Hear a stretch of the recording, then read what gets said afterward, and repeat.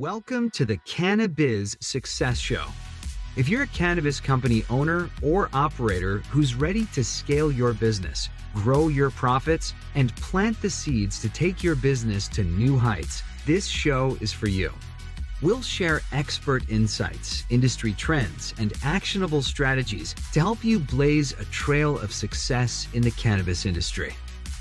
Welcome to the CannaBiz Success Show. Today, we're going to be talking about more about branding. Uh, I'm very excited because we haven't had a guest yet that's more on on the branding side of things. We've we've looked at different business models, but Phoebe, we're excited to to talk more about about the branding side of things. And just by way of introduction, our guest today is Phoebe Depree. She's the founder and CEO of Goddess Growers. It's a cannabis edibles company. Um, She's leading science and research based team of visionaries. Um, Phoebe has strategically positioned the lifestyle brand at the center of peace, calm, and relaxation. I love those three words. Um, we'll talk about the markets that you're um, slated to launch, but uh, Ohio and Illinois, two uh, really exciting uh, markets to talk about. Um, just to give a little bit about uh, about Goddess Growers is precisely dose product line that delivers a smooth and refined high incor- incorporating THC, CBD, THCV, and mother elixir. So we'll get into cannabinoids. Um, very, very unique uh, product, and and really exciting to be talking about this. Um, so before we get into it, uh, Phoebe, can you just give us uh, your background and how you got into the cannabis space? Absolutely. Um, thank you so much for having me today. It's a real pleasure to be speaking with you. Um, yeah. I uh, originally, well, I'm a, a lifelong consumer and uh, supporter of cannabis. Um, and I started consuming, you know, as a teenager for social reasons around the campfire with friends. Um, in my 20s, I had a, a really uh, intense job in banking in New York. And at the end of a long day, I would use it to kind of just lower my anxiety um, and kind of come back to that center. Um, and in my 30s, I had three babies in a row, and um, they started sleeping through the night. And I always say I stopped sleeping through the night, and cannabis is really uh, it helped me to sleep. Um, and then my 40s, I entered the cannabis industry um, and founded Goddess Growers in January 2020. Um, initially, uh, you know, I um, looked at uh, getting a cultivation license in Illinois, but quickly uh, realized that there was a huge uh, opportunity for a brand. Um, and so I pursued uh, creating the Goddess Growers brand, specifically edibles. Um, I'm a 45 year old mom with three little kids. Um, I wanted something discreet uh, that can really just help me take the edge off, sort of in place of that glass of wine at the end of the day. And in Eh, for for the listeners when you when you say you you applied for so when you're a brand right because we've talked to those who have cultivation and retail licensing in the markets that you're in is there a separate brand for is there a separate licensing process for a brand versus a retailer can you talk a little bit about that yeah um so there's no licensing process per se as a brand. The way I describe myself is uh, think of Coca Cola has their secret syrup and their beautiful mm-hmm. brand, and they license it to franchisees. Um, now, Coca Cola does own some franchisees, but then oftentimes they'll just license the brand. Um, and so I, have pursued a similar model where I I look for manufacturers that represent the values.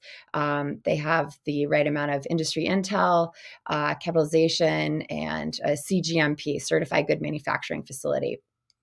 And uh, we will license our brand to them, and then my food scientist comes in and uh, trains their kitchen how to make our, our products. They distribute them, and, and I uh, generate the sales. Okay.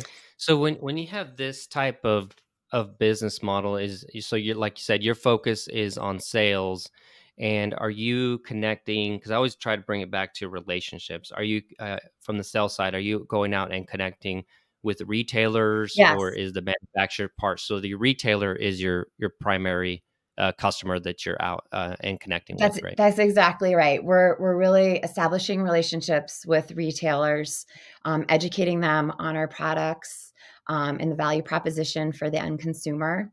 Um, and then we have to go through every state is i say like its own country um, so in ohio for example there there are um, a lot of approvals for your packaging for example and your formulations you need to get state approvals but that would all go through uh, your partner manufacturer who does have that cannabis license we don't we don't have a license we're not interested in in pursuing one at this time yeah and how do you um, when when you're dealing at the retail level there's there's there's two layers, right? Because you're trying to educate the retailer.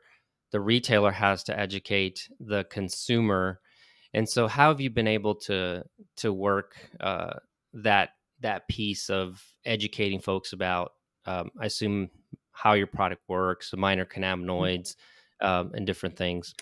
You know, I find that the population of bud tenders, the folks that are selling in these uh, retail dispensary locations are incredibly educated and interested to learn about brands and um, so you do you do have their ear to to train them on um, you know why you made certain decisions um, you know why you have the cannabinoid profile you do who your your target customer is um, we are focused on anxiety and uh, taking the edge off really the journey to calm and so all the decisions and, and selling points that we make are really about that.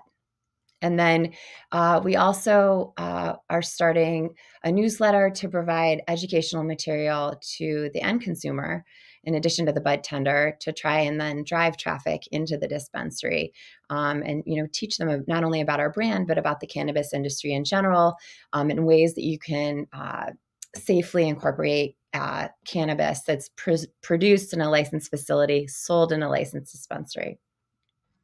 Yeah, and so your your product is is really focused on the consumer that's looking for really specific uh, remedies, right? Whether it's sleep, calm, and really uh, consistent, and that requires, um, right, like you said, a lot of education, consistency around the product. Are you finding that is is it in certain markets where this consumer base is continuing to grow um, versus the you know the high THC type of consumer where folks are really looking for that specific effect um, and they're looking for a form factor that is uh, like yourself that's more uh, discreet or uh, such as the edible category?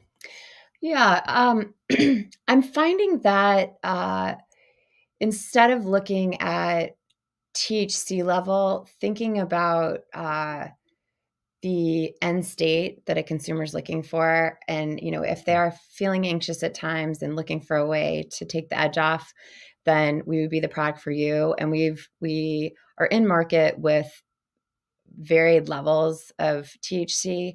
Um, so the more seasoned cannabis consumer will find something for themselves, in addition to a newer cannabis consumer or an, a more seasoned one that has a very low tolerance. I put myself in that category. I consume cannabis mm-hmm. almost daily, um, but in very low doses. You know, one, two, three milligrams, five if you know it's the weekend and I'm going to a mm-hmm. concert. I um, I'm the same way when I go to uh, to conferences and I'm and I'm socializing. Um, having to having to socialize with with everybody and um, consuming cannabis is just like I can't I can't stay awake. So it's just like I'm that same type of consumer that uh, I'm looking for something very low dose and for very uh, specific um, effects um, on my body that I can predict and uh, what is what is going to happen there with with the dosage.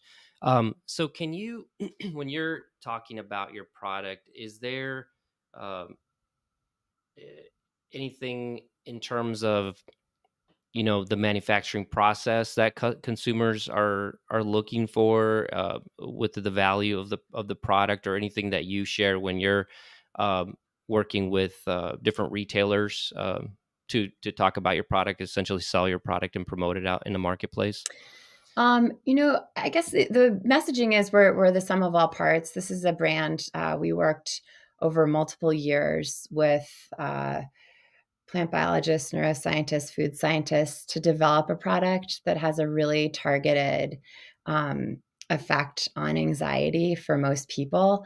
And we even developed a proprietary blend of terpenes and flavonoids that augments that feeling of calm in addition to the cannabinoids we're providing. Um, the arrangement of cannabinoids that we feel is, is it's a hybrid um, uh, that provides that feeling of calm. And that's the mother elixir is the, the, the proprietary blend. I see. And in terms of um, of markets, can you go back and uh, and kind of talk about that the markets and that you're in? Because I'd like to eventually get into um, how those markets are are developing. Um, can you can you start with what market you're currently in and where you're looking to go? Yes, um, we're currently uh, selling into Ohio, which is a medical market that is about to flip into adult use. And uh, you know, at the end of the day, cannabis is really a medicine, um, and should be treated as such with caution and care and education. Um, and you see that a lot in medical markets. And then um, ushering in adult use and just really making sure that uh, the adult use consumers are, are educated. Everybody's endocannabinoid system is unique and everyone has receptors in different places. Um, for those of you who haven't heard of the endocannabinoid system, it's also referred to as the ECS. Um, it's your body's own weed system, essentially. Um, and it's a neurological relationship. It's not a physical one like alcohol, which can affect your brainstem. If you have too much, it can make you stop breathing. Cannabis will never do that. Um, it's a neurological relationship. And I always like to talk about it like the volume on your car radio. It can turn the volume way up or way down, but really understanding what your unique system requires in terms of dosing. Um, and it's not just THC, it's the, the other minor cannabinoids as well. Um, it, it is a I consider it a little bit of a barrier to entry for somebody that's never consumed because it takes a minute. You know, if you think about mm-hmm. alcohol, everybody knows who's consuming alcohol how one glass of wine or one cocktail or one beer makes you feel. So if you're new to cannabis, taking that time, I always suggest at the end of the day when you don't need to go anywhere or do anything, you know, and maybe you're sitting in your bed reading and you can try a very low dose uh, of a new product, see how it makes you feel.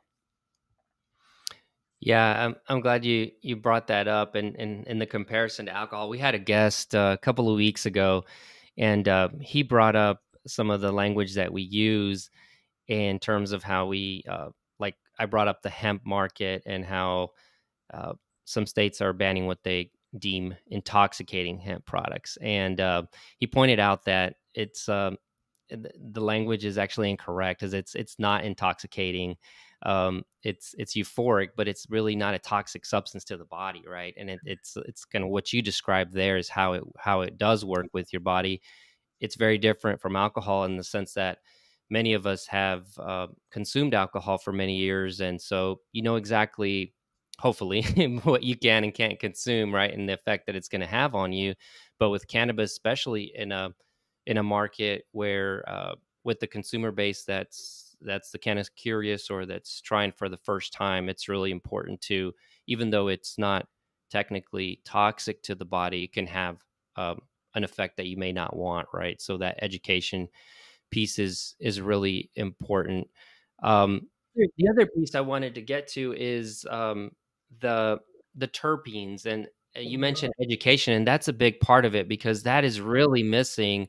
Uh, is the education around the terpenes you know i i know i have my way of understanding mm-hmm. uh, what they are but it'd be great if you could share about that absolutely um so i i interviewed um the end consumer and ultimately decided we wanted to target anxiety and then I started to think about arrangements of cannabinoids, but not just cannabinoids. We hear about THC and CBD a lot. And as you astutely mentioned, there's you know over 120 cannabinoids but then there's also terpenes and flavonoids and those uh, can sway the effect that a consumer has as well.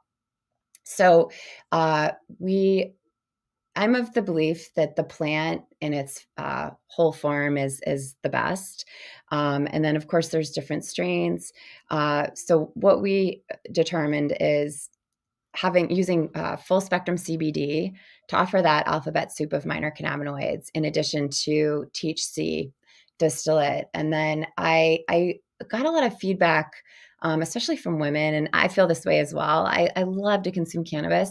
I don't want to get the munchies. Um, and so we found that adding in a little bit of THCV, I also don't want to feel drowsy necessarily. I wanted to create a daytime high. Um, or, you know, as you say, if you're going out in the evening, but you don't necessarily want to be falling asleep. Um, that was the effect I was looking for relaxed but alert. Uh, so we found by elevating uh, THCV, uh, and many people, it, it won't give you the munchies and it will provide a degree of focus in addition to that feeling of calm. Um, and then we took it a step farther and looked at terpenes and flavonoids. And uh, I developed a, a this proprietary blend. Uh, people often say, "Well, what, what's in the blend?" You know, I say it's it's a lot of uh, mostly uh, on the terpene side, limonene and linalool. Um, limonene, you can think of like citrus fruit would have some limonene in it, like a lemon peel, um, and then the flavonoids is the flavoring. We also have, you know, that that's proprietary as well. Um, and all of that goes on that path of relieving anxiety, providing a degree of calm.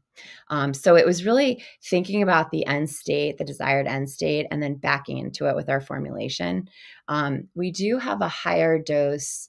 Uh, gummy available in Ohio. It's 40 milligrams of full spectrum CBD and 40 milligrams of THC. Um, at that higher dose, I did not add the THCV because, you know, as you alluded to earlier, uh, if you have uh, certain cannabinoids in higher doses, it, it, can actually have the opposite effect. THCV is one of them. Uh, and we didn't want to create anxiety. So we've just got this one to one at a higher dose because it is that medical market. And we do see patients um, that, that want and more seasoned consumers that they're looking for that uh, higher dose to attain that desired effect of calm. Yeah. And as you mentioned, this, you know, the combination of this can it, it does provide a more consistent effect, right?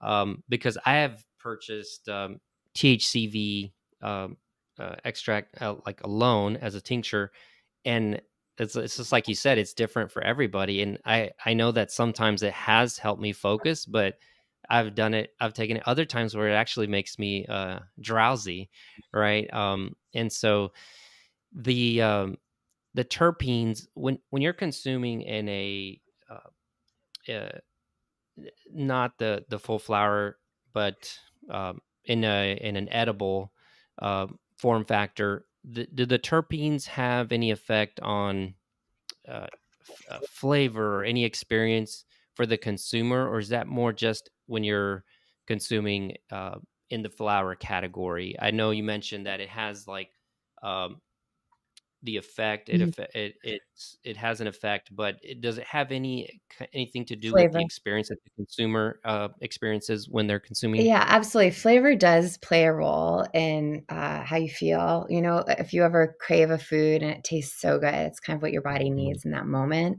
um, and then with the terpenes terpenes can be very smelly and stinky and you want to really use them in, in tiny amounts i've found mm-hmm. um, and then we i didn't talk about this yet but we've partnered with Azuca which is a fast acting ingredient and it encapsulates all of the molecules in our edible uh, and it in addition to uh, making it hit your system in five to 15 minutes it it kind of masks that the taste now some people love the, the cannabis taste others don't you know ultimately ours does not really taste like cannabis at all i can barely taste any cannabis um, or terpenes. Um, mm-hmm. I, I, really like Azuca. All of their ingredients are approved by the FDA. Um, you know, we, we really uh, went to great lengths to make sure every input into our, our gummies is, is really um, carefully chosen and, and safe for consumption because it's food and you're putting it in your body at the end of the day. Yeah. So let's take take it back more to the to the business side. Thanks for sharing all that. Um, I think I think our listeners will find that educational and I mean this seems like basic basic things uh, to those who've been in the industry at least some time or, a long time, such as yourself. But um, I think some of these basics are are the things that that folks need to hear because there's still such a large uh, segment of the market that is um, that is not aware of uh, the minor cannabinoids of how terpenes and flavonoids work. So so thank you for that. Um, but going back to, there's a lot going on right now, right? With the with the potential reschedule. But you mentioned being an um, asset light business model. You're able to operate in different markets, right? Yeah. Um, is uh, rec markets, but th- so when you think about it, um, you're essentially able to expand into any particular market that that you find a partner in. Mm-hmm. Um, was that a big part of choosing this business model? Is that uh, like you don't have to apply for a different license in each state, and do you see that in your future? Is that um, you know there we talk a lot about, um, or we've brought it up if we see a potential uh, interstate commerce down the road, but that is just not something that really affects you under your current business model, right? As any in terms of interstate commerce or how the reschedule could impact you? That's correct. Uh, interstate commerce wouldn't so much affect us. I mean, there would certainly be some effect, but um, I, I, like the ability to uh, be everywhere and nowhere. It, it provides us a degree of flexibility to really carefully choose our partners. Um, and then the, mm-hmm. this is a, a, still a little bit the Wild West. The market has come so far, but there's still a lot of work to be done. Um, and being able to grow, uh, you know, as we see fit, I, I really enjoy uh, that degree of, of freedom and flexibility as a brand. Yeah. What are you, um, what are you most excited about right now? Like, um, obviously the potential of, of 280E going away, but, um, what are you most excited about in the industry right now? Because I mean, this is just really a, a big year, a lot going on, uh, policy, uh, changes that are really pushing things forward. Perhaps uh, might start to see institutional capital in the future. But um, can you share what you're most excited about?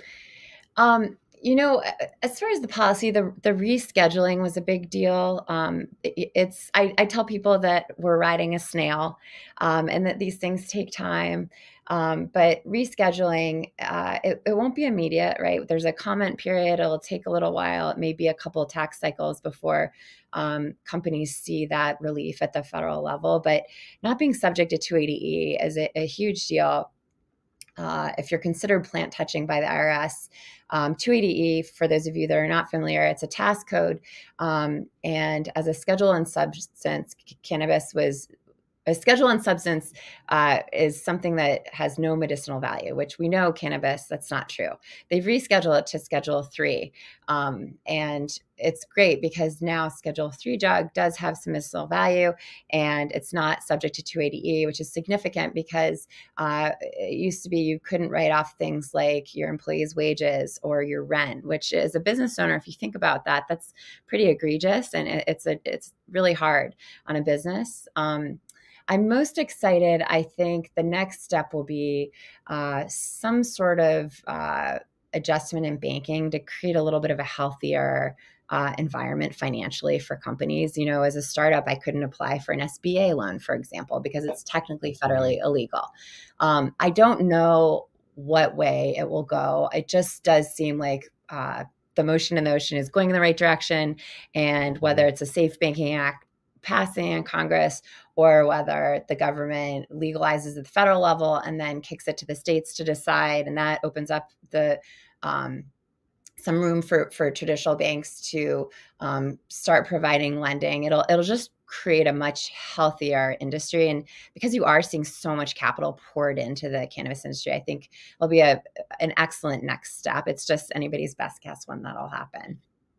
Yeah, I, I've I've just looked at it like okay, the reschedule is not a a safe. It's not a path to safer banking uh, per se exactly like that. Um, it doesn't mean that safer banking uh, will pass now, but I, I always say like there are still plenty of banks that are that are banking cannabis. I forget the number, but um, there's a number out there, and it's pretty high of how many banks are banking cannabis.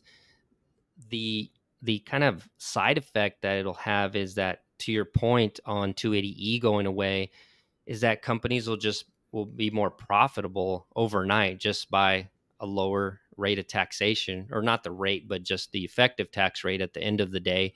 And so, just companies have better credit and are more um, banks are more likely to loan to a bank uh, company that is, has better credit that is more uh, that is more profitable. So I see that as a as a uh, not exactly a direct path, but an effect that it's going to have on cannabis is that um, it is going to Im- improve um, access to capital because just companies will be more can be more profitable with uh, not being subject to, to 280e, and then over time, uh, just by the in, by way of the industry just just learning you should have some relief of the price compression that you have in in almost all the markets as as um, companies just get larger and perhaps more consolidation. But since I always make the point that there is enough banking to go around for current uh, cannabis companies, I say this kind of just anecdotally when I talk to you know folks out there. From from your standpoint, did you have any issues? Um,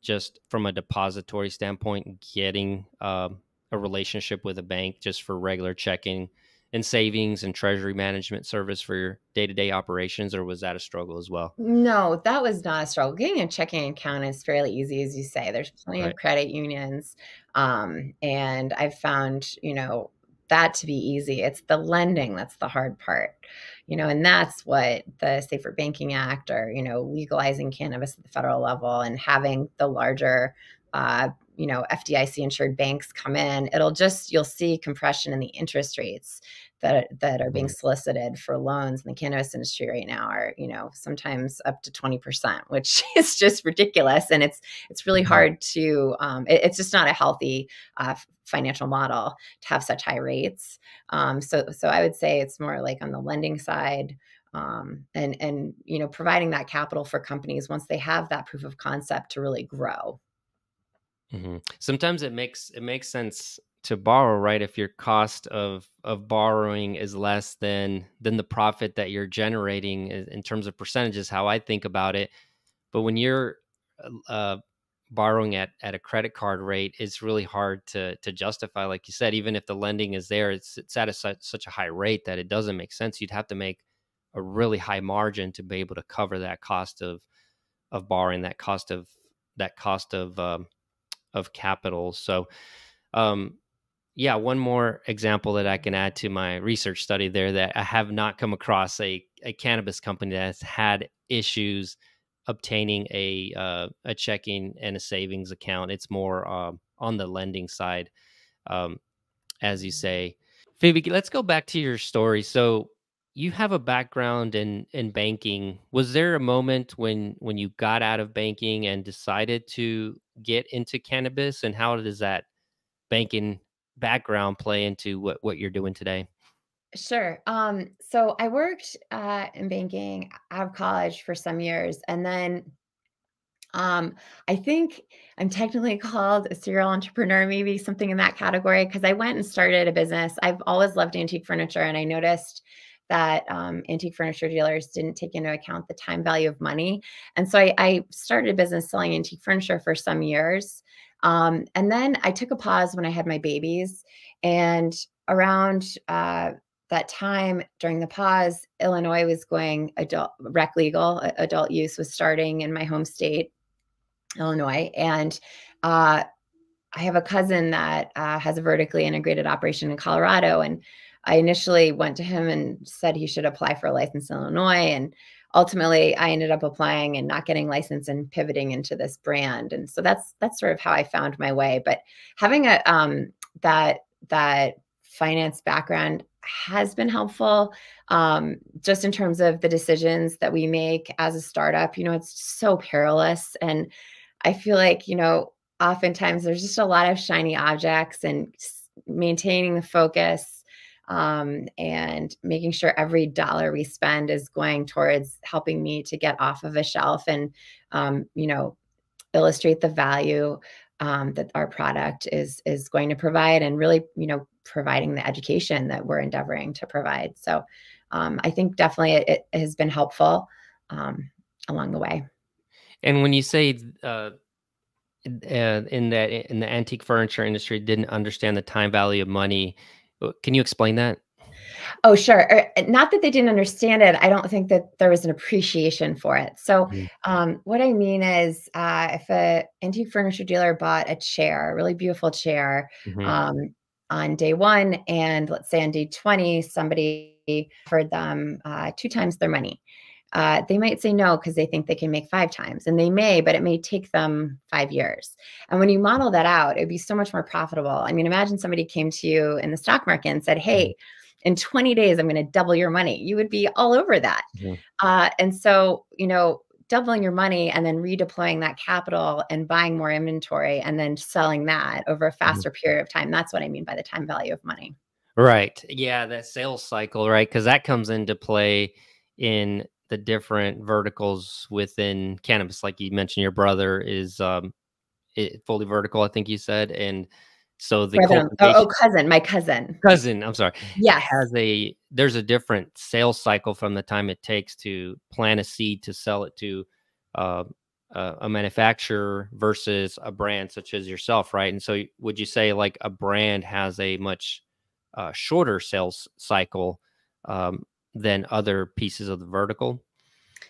Uh, you could say that, yes, uh, because we are taking that end product of distillate and and put you know producing it into edibles and then uh, distributing it and selling it you're you're sort of starting you know you're not starting from the seed going into the ground um, but you know you're you're paying that cost like there's an associated cost of goods that comes with that as well so it's not a total sweep mm-hmm.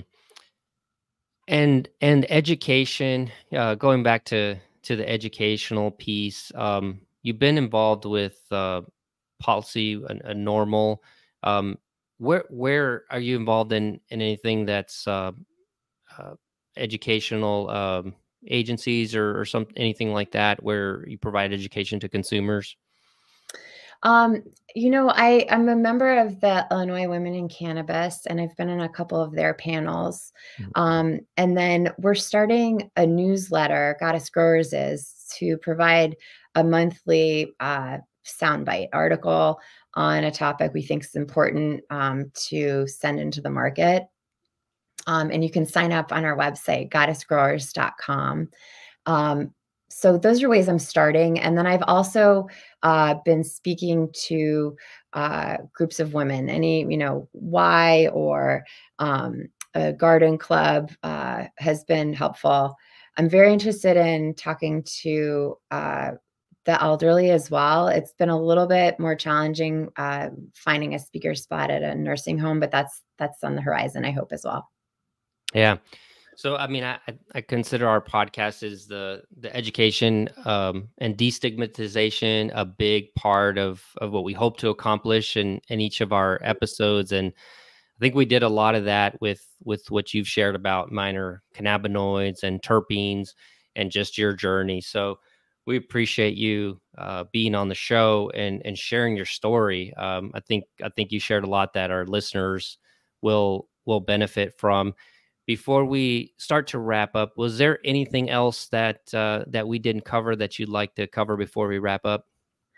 No. Um, if there are any questions uh, that we didn't cover, you can also go to our website, goddessgrowers.com, and uh, there's some contact info on there. I'd be happy to um, you know, I love to hear feedback and, and questions that folks have. We're, we're constantly collecting those. Um, but thank you for having me on today. It was a real pleasure chatting with you. Yep. Thank you. And um, yeah, definitely check out the newsletter. And is um, are you active on LinkedIn? What's where's the best place for people to find you personally? Mm-hmm. I'm on LinkedIn, Phoebe Depree. All right, it'll be in the in the show notes. Um, that's all we have um, for today. Thanks everyone for joining us today, and we'll see you next time on the CannaBiz Success Show. Enjoy this podcast? Visit our website, anderscpa.com slash virtual CFO cannabis to get more tips and strategy for achieving business success in the cannabis industry.